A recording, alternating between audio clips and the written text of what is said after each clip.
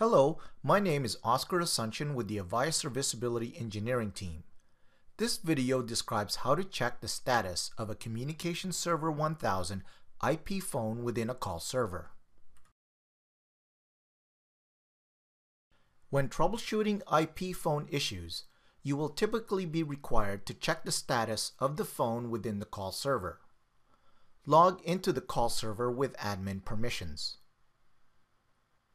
The typical method for checking the status of any phone within a call server is to launch the Network and Peripheral Equipment Diagnostic Program Load32.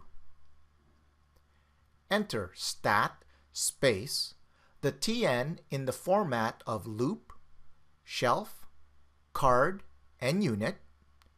In this example, we have two IP phones, one with the TN loop 148 shelf 0, card 0, and unit 0, and the other with TN 148, 0, 0, 1.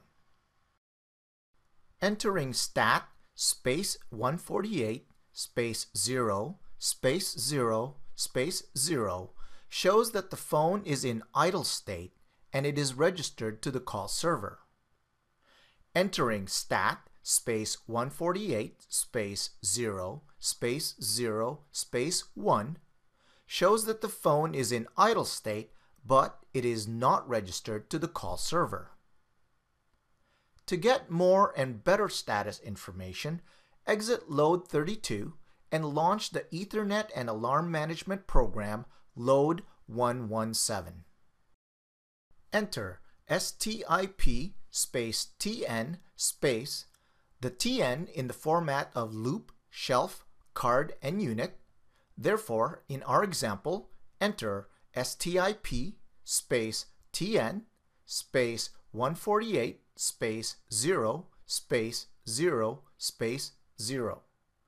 Now, we know from load 32 that this IP phone is registered and therefore the resource locator module information shows the model, the call server's TLAN IP address, the signaling IP address, and the codec and bandwidth.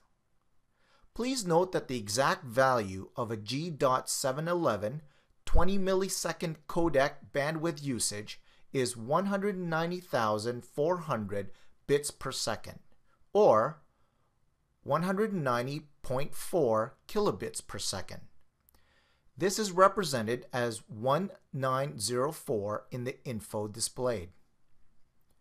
Now, we also know from load 32 that the IP phone on TN 148 0 0 1 is not registered and therefore when we enter STIP space TN space 148 space 0 space 0 space 1, we get TN was not found. So use load 32 and load 117 to check the status of your IP phones within the call server when troubleshooting IP phone issues. For more information about other call server troubleshooting commands, please refer to the Avaya Troubleshooting Guide for Distributors.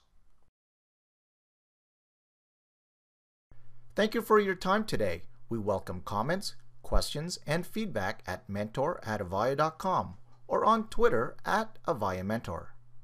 For more details or related information, please visit support.avaya.com.